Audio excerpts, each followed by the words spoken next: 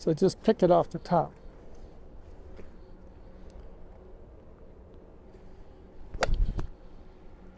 Oh, that's just a, such a nice push draw.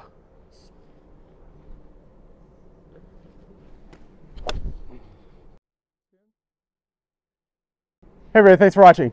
Today I'm with Lee Detrick at one of his spots in Rancho Duarte, California. Thanks for joining me, Lee. Oh, you're welcome. Glad to be here.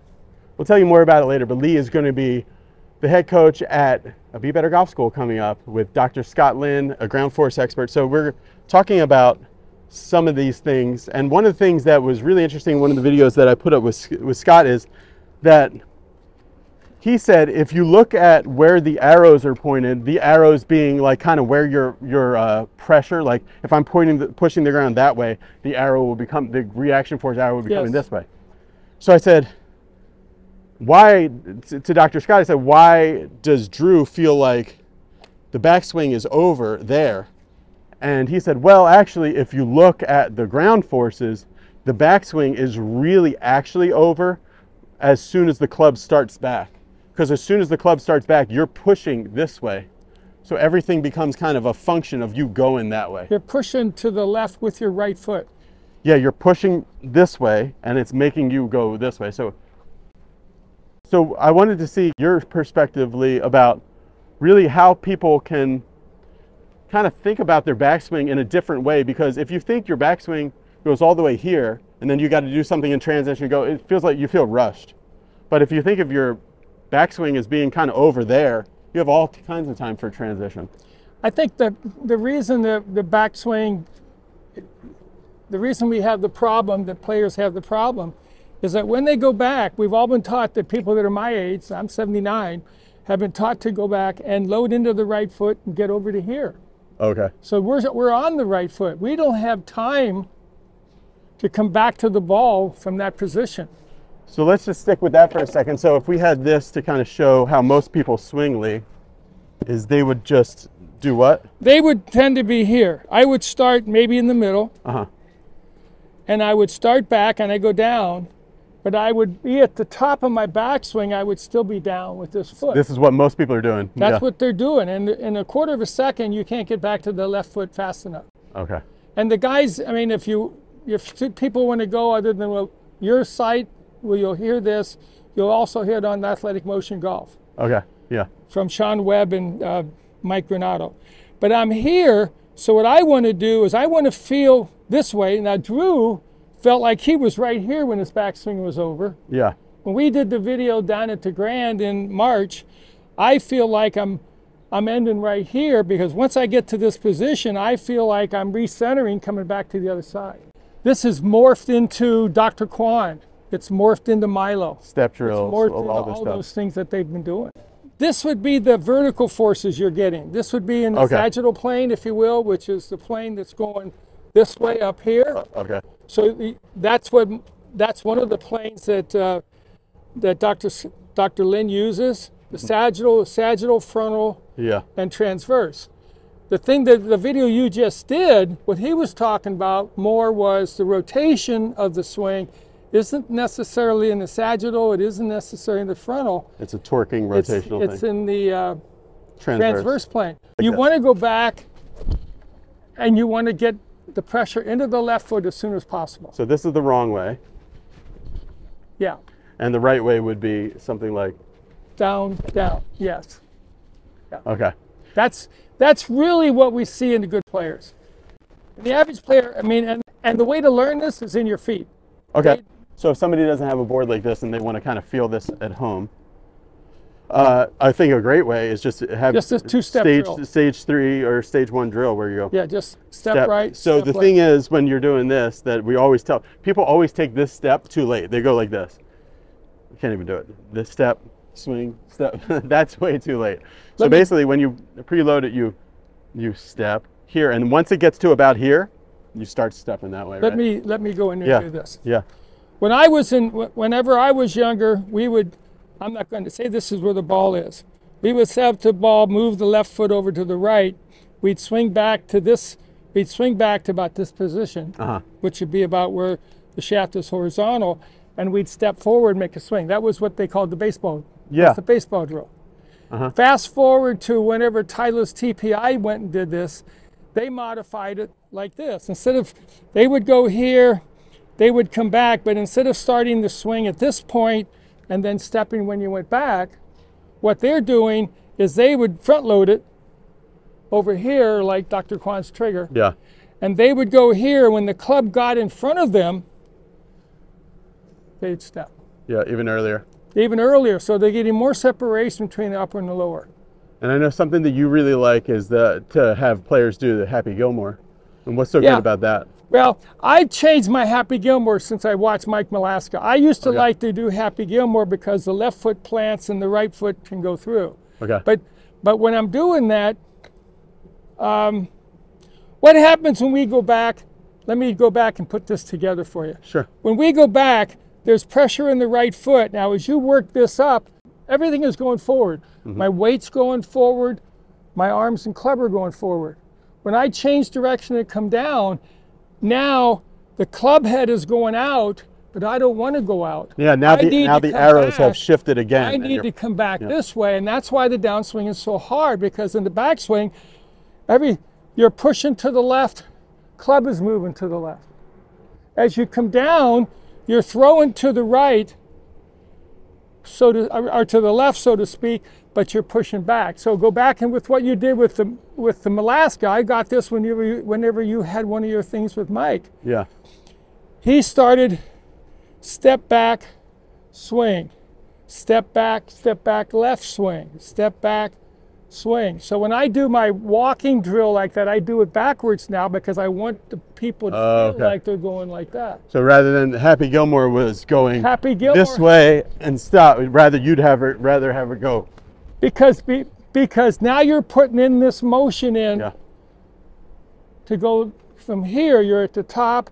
You're you're basically pushing this foot out of the way. You're pushing your butt back. You're taking your rib cage. You're taking your diaphragm or your chest down. Now I'm into here, and now the club can rotate through the butt. So now I can rotate, stand in my posture Okay. where I couldn't the other way. Okay. So, yeah, something that I was I was told yesterday was that with a driver that's moving 110 miles per hour, it's pulling on you with about 140 pounds of force that way. So you really need to be strong and pushing Well, this way. Here's the deal. Go back up there. Okay. Okay, come on down. You had the video with Dr. Kwon. This club, I mean, Dr. Yeah, this is coming this way. And what Yeah. was he doing with the rubber band coming here? He was pulling you in, so you were counterbalancing those forces, Dr. Lynn, so you yeah. stayed in your posture. Yeah. What's been helping me, Lee, is that if I if I feel I go left, I go right to start things, and then I'm pushing this way the entire backswing, it gives me more time in the transition to to do that. You feel that's like Dr. Kwon's backing in? Yes. Yeah, like when he had the, the karate mat there and I was going, So what kind of rotate what kind of movement are you trying to get out of your body? You're trying to get vertical or rotational or a little bit of both? uh, me, I'm trying to actually Dr. Lynn said I was had really good rotational force and I but I didn't use it at all, so I'm trying to get more rotational. So then But whenever I do get real rotational, um, I do come up on it. I thin it quite a lot. so you come out of your posture whenever you Somehow, yeah, yeah. that was sounded better. That was a really good one. And that was one of the things that we found when I saw Dr. Lynn was I have to feel in my backswing that I keep my butt on this and not try to do the thing because I don't I'm not fast enough to do the thing where I go up down. Yeah, You know, yeah, I just I have to basically stay down because I'm I'm just not reactive enough to do up down. Better? Yeah, it's getting better. You feel like you're staying over more? In other words, when I mean you, you feel so so you're going here, you're not going into the ball like this. You're backing up and letting your arms go out, and you're backing your body up. I feel like I'm here, and then my weight gets left enough early enough so that I have the uh, The pressure, the the pressure and the and kind of the toes are gripping into the ground that way, so I can do that. so you can go that way. ear- earlier. That was good. That was the best shot of my life. sometimes Lee, when people do the foot pressures, and we've seen this because you're a level two certified Kwon guy and uh, taught at a couple of these Dr. Kwon schools. When people want to do the step drills and everything, they get a little swazy and a little kind of like uh, this. So to get the steps and to, but to stay a little bit more centered, you have kind of like a cool tool that Yeah, you I use would go back to something I've had in my garage and haven't used probably for 15 years. Okay, let's pull it out. if you look over here, Mike, this is this is Lee's bag of tricks that he brings with him. All different rulers and frisbees and bands, and Well, it's cool. this is this is something I had that I picked up uh, probably mid 90s, whatever. Uh, it's it was it's called an eight board, and Yeah. it's the infinity circle. So I don't need that. Okay. What you're doing is you're standing on here and you're making your golf swing. So you can't get outside. These are like a lazy Susan. Yeah. In fact, I'll show you what I did, what I did online to make this easy. These, this, they don't, they're, these are out of stock right now. You can see I obviously got angry one time and broke this, whatever. But anyway, I'm here. So I'm on here, and I would make my swing.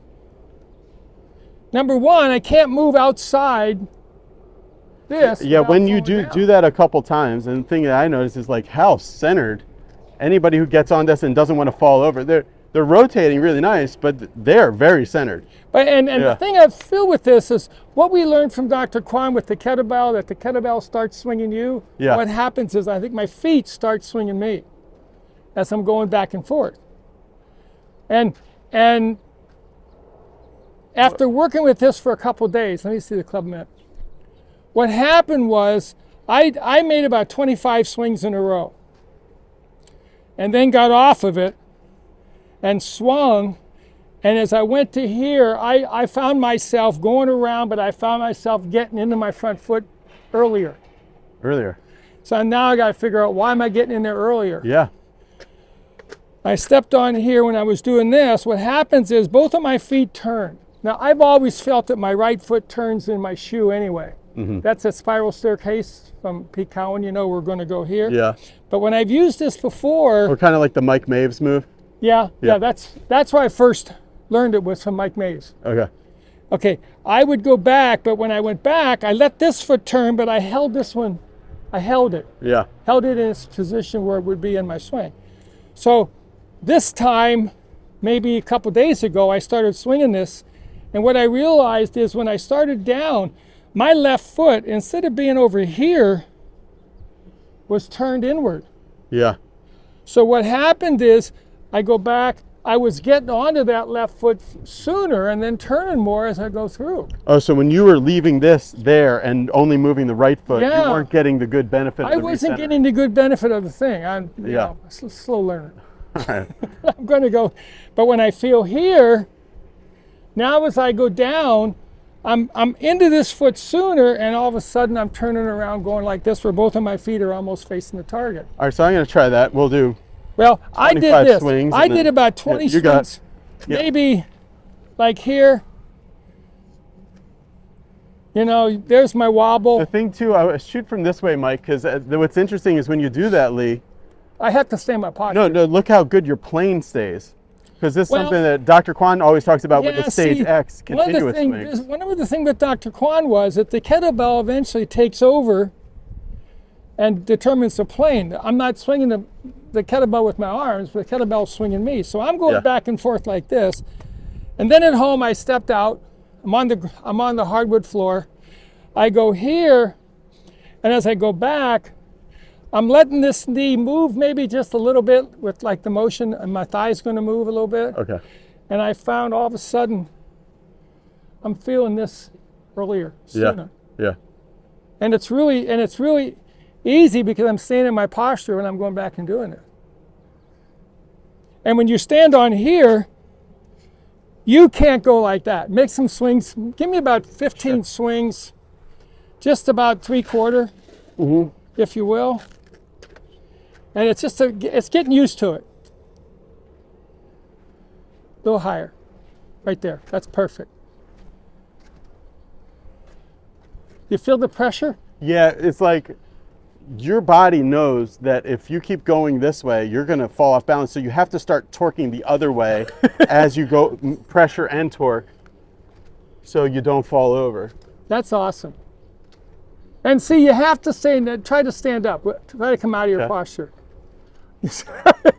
you lose it. Yeah. So you have to stay in your posture at the same time. That that was not me trying to be funny. That was, that was literally just what would happen. Wow. Yeah, you'll throw your hip out. I need that. Okay, that's good. Now, up, let me Okay. step in there a minute to pull this out. Now, step in there and make some swings. Tell me what you feel. Okay.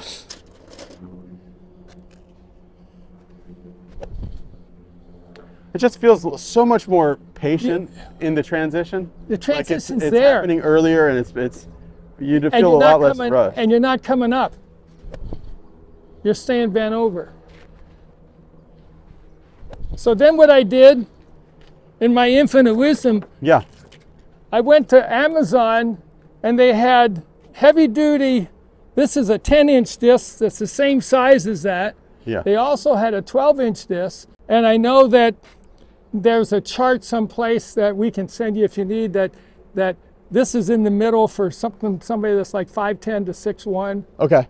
that's about seven inches apart, seven Okay. and a quarter apart. So you just put them down there and It's- you can make your own. Basically, just inside your armpit. I had one of Yeah. my students tell me, well, I looked further into it and I could screw this into a board and Oh. put the other one on top, put another thing on top, and he was going to make his own like that. Okay. yeah.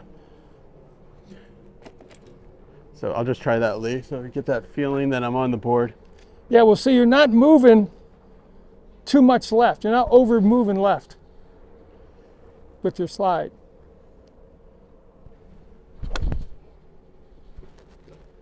So I'm just gonna do a little flip flop. I'm not gonna try to hit this while I'm on here, but I just want to get about. You can do that. You can do it. Okay, let's let's try that. I'll go off the tee. So just pick it off the top.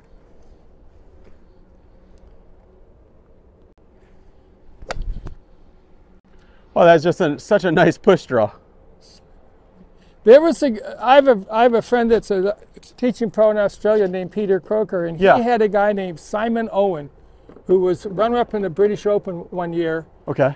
on that, and he couldn't believe how he he loved that thing hitting hit, hitting his driver off of that board. Hitting drivers off of there. Yeah, Okay. yeah, loved it. Absolutely, absolutely loved it.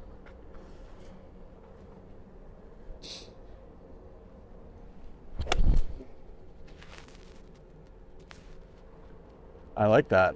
I think for Dr. Lynn's, what I took from Dr. Lynn's video with you is that the rotation comes from what your feet are doing, like what you're rotating this way, not so Yeah. much from the sagittal or the frontal planes. You're going to do this. You want to get this to move.